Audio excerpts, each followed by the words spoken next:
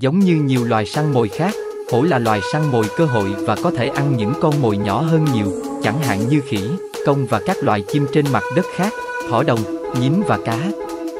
Chúng cũng có thể săn bắt những động vật ăn thịt khác, bao gồm chó, báo hoa mai, trăng, gấu lợn và cá sấu.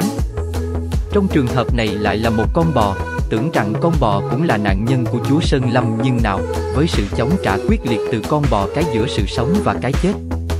Con hổ đành phải ngậm ngùi, để con bò thoát thân một cách ngoạn mục,